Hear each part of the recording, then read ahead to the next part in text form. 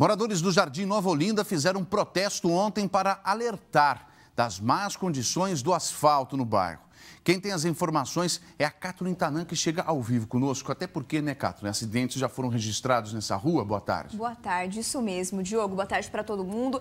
Uma câmera de vigilância de uma das casas registrou dois acidentes ontem à noite e os moradores aproveitaram isso para fazer um protesto, já que eles já estão cansados. Ali na rua Sebastião Rosa, nós estivemos pela manhã hoje no bairro. Confira a matéria.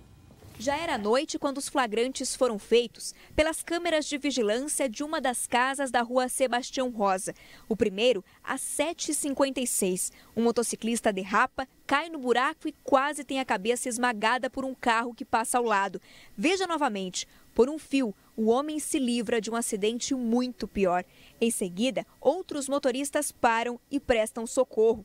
O motociclista consegue seguir viagem. Mas exatamente quatro minutos depois, outra vítima.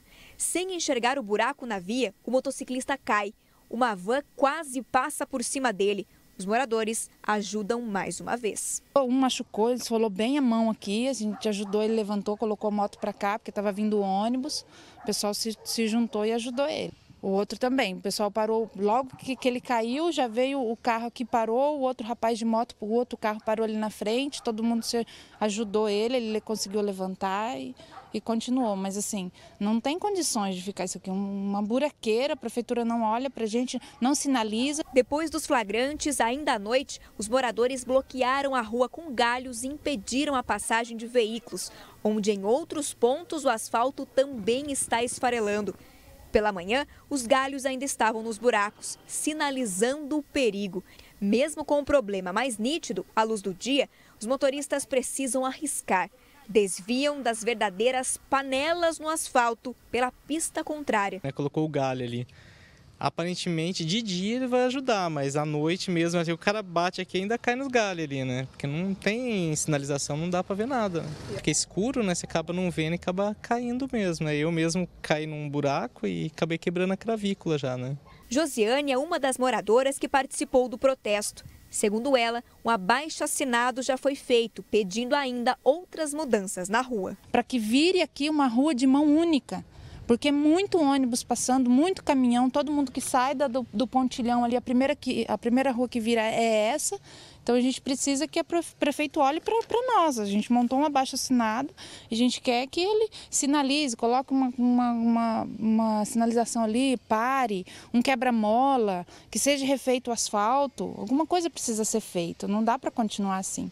Cada dia é um acidente novo que acontece. Só não cai mesmo porque eu sei onde que está, né? Mas se for uma pessoa mesmo que não conhece a, a rua, a travessia aqui, já era. Eita, além disso, os moradores também reclamam de um bueiro ali, que nós também fizemos imagens, um bueiro que está aberto, sem qualquer proteção, tudo cai ali dentro. Quando chove, a gente já sabe o resultado disso, né? Que a rua fica cheia de água.